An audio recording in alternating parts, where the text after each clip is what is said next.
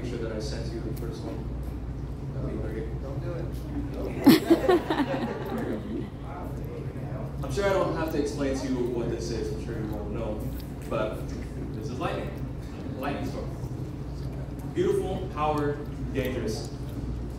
In a fraction of a second, lightning heats up the air around it to an incredible temperatures as hot as 54,000 degrees Fahrenheit. That's about 30,000 degrees Celsius. A typical lightning flash is about 300 million volts and about 30,000 amps. In comparison to a household current, which is about 120 volts and 15 amps. Striking around 270,000 miles per hour, lightning has enough power to be able to split a tree in half or even kill someone.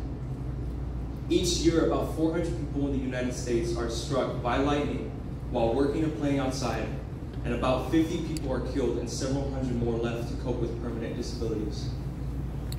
A recent analysis found that a single flash of lightning along the northern Gulf Coast spanned 477 miles across, breaking a world record. This mega flash of lightning lit up an area stretching from Texas to Mississippi. Lightning is very powerful and to me very beautiful. I love to actually just sit there and just listen to all the, the thunder clapping outside and just seeing the flashes of lightning. But lightning can light up the darkest of places at night. For it is a powerful light in the darkness of night. The reason I'm using that is to use as a comparison to God, to Jesus, for He is our light in the darkness, our light in the darkest of places. And so I want to read out of our main scripture where He says this Himself. If you could read along with me, John 8 12. It says, Jesus spoke to the people once more and said, I am the light of the world. If you follow me, you won't have to walk in darkness because you will have the light that leads to life. Now, the title of my sermon is called The Power of Light in Darkness. My first point being without light. Now, I could have used a lamp as the illustration of light, but as I said, the reasoning for lightning instead is not only because it's lightning a large source of light, but it is very powerful and very beautiful, much like our God, who has so much power to be able to create our entire world with just a thought. But yet, He is also very beautiful. And we need His light to be able to navigate through the darkness of life. Now, the question that could pop into your mind is well, why would I need His light during the day? I mean, there's the sun, and even at night, there we have our lampposts, we have our flashlights, we have our cell phone. Well, that's true in the natural realm of things, in the natural world, the physical world. But when Jesus says that He is the light of the world, He's not talking about just this physical world. He's talking about spiritually within us. For that darkness that is being referred to is our sin.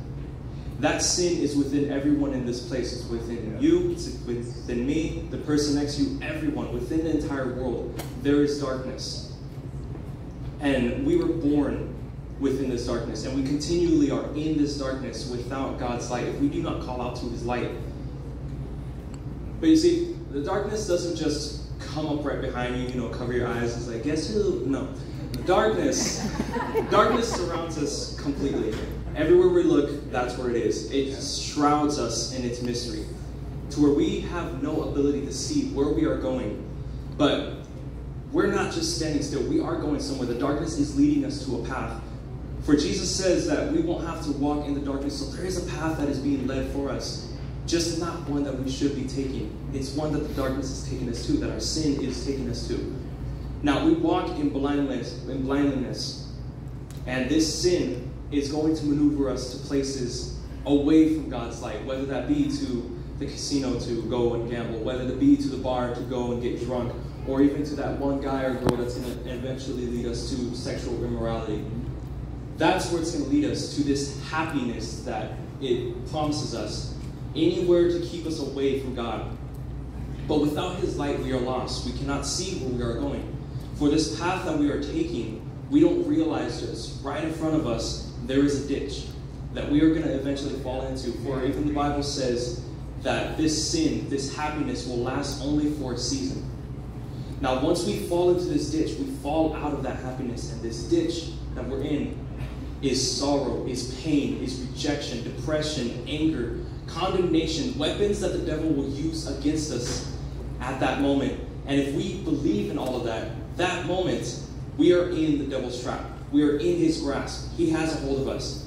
To a point that we start to believe all hope is lost. Our life is meaningless. There's no reason for us to even live. And if we give in to all of this, that devil will have us and eventually bring us into his hell. But all of that is just a simple lie of the devil.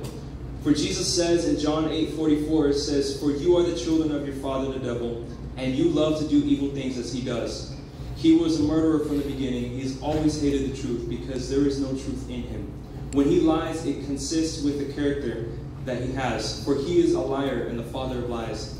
Now, in this moment, Jesus is speaking to the Jews, but we can apply this to ourselves because, as I said, we are born within this darkness. We are nurtured from the very moment we were birthed in this darkness, in this sin. As a child, you are sinning. You will lie just to get that food, that comfort that you want, even just in your cries.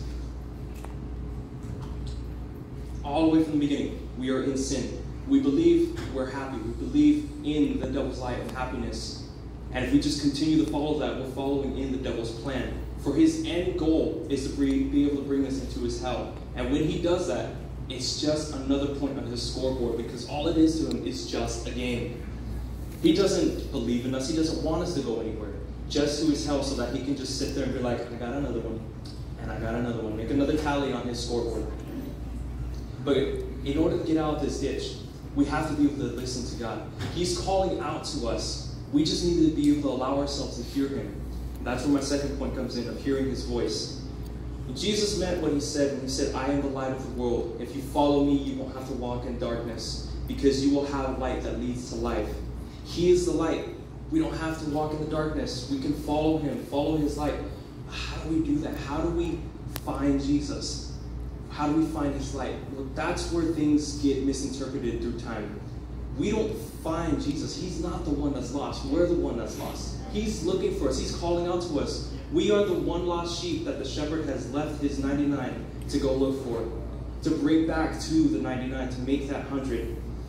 He's calling out to us, but the only reason why we do not hear him is because we're stiff arming him. We're saying, No, I know where I'm going. I don't need you and we are just ignoring his calls, his calls of hope. It's like playing a game where it's this game you have a blindfold on and you have a partner who's telling you the path to go.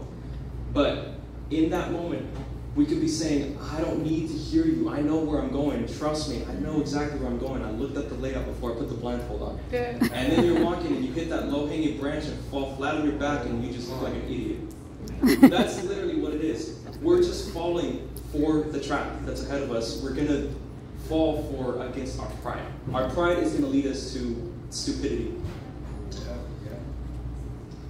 But Jesus said, For the Son of Man has come to seek and save that which is lost. So we are the one that is lost. We're the ones lost in darkness, and He is trying to call out to us. The only way that we will be able to actually hear Him, the only way we'll be able to actually see that light is if we put down our pride we lay it down and we allow ourselves to just listen. And we'll just hear him. For in Matthew 13 9, he says, He who has an ear to hear, let him hear. This sentence has been repeated multiple times in Scripture for one reason. That reason is because we need to be able to listen to him. We need to be able to hear him. If we don't allow ourselves to, we'll stay in that darkness. But if we do, that's when we'll start seeing the light. My third point, last point here, is walking in the light. If we allow that light to be able to enter into our lives, that darkness will tremble, it will flee. As one of the songs says that in Jesus' names, demons will flee. That is the same thing. With his light, that darkness will flee. But just like every light source, there is still a shadow that is casted. The darkness is still there trying to surround us. But in the moment of light, when we lay down our lives, we come to this altar and we repent and say, God, Forgive me of my sins. I'm putting down my pride and I want you to enter into my life. Will that light be able to enter into us? And we'll get up so excited, wanting to bring as many people to it to experience that light itself because it's just so exhilarating. However, you say the word.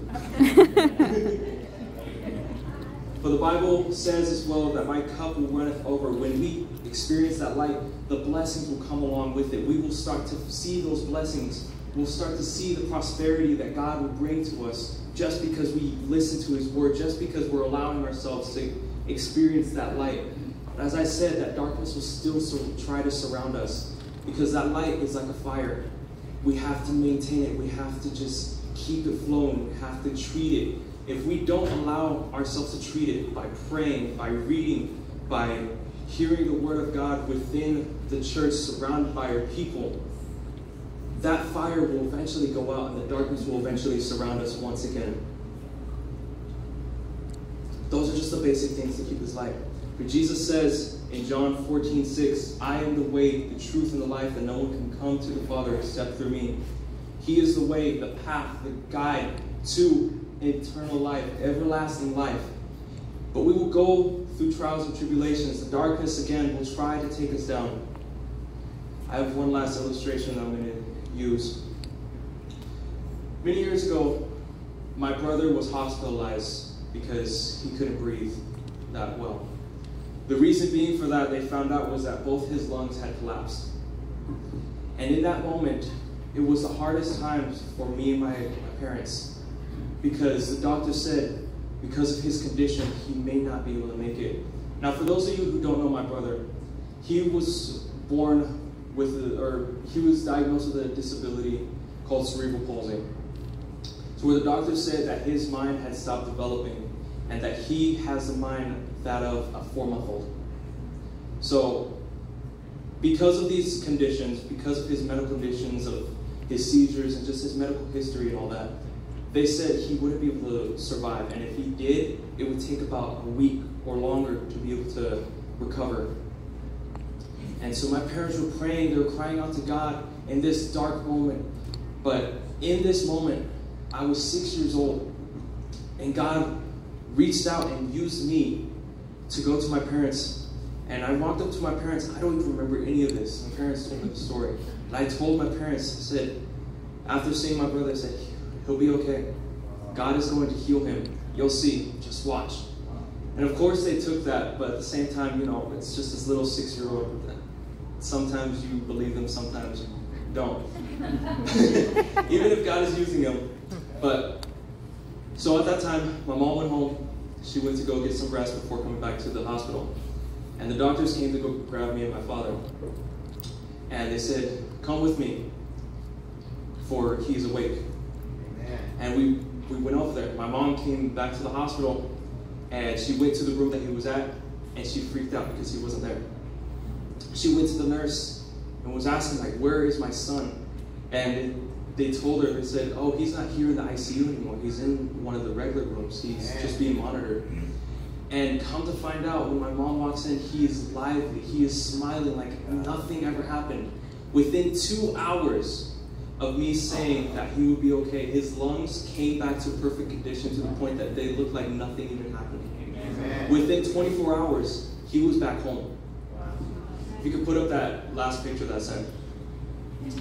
This is my family and I. My brother is the one on the left in the wheelchair. He is now 30 years old. Back when he was diagnosed with that condition, when he was diagnosed with that condition of cerebral palsy, they told my parents he would not be able to live past 82. 30 years old.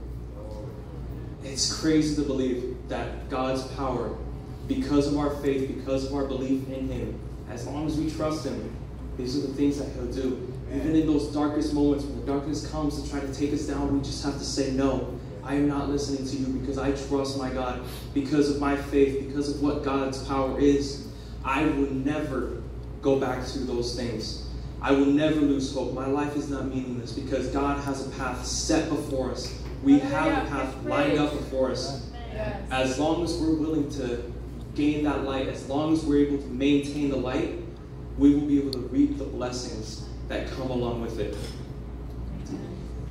Now I'm done.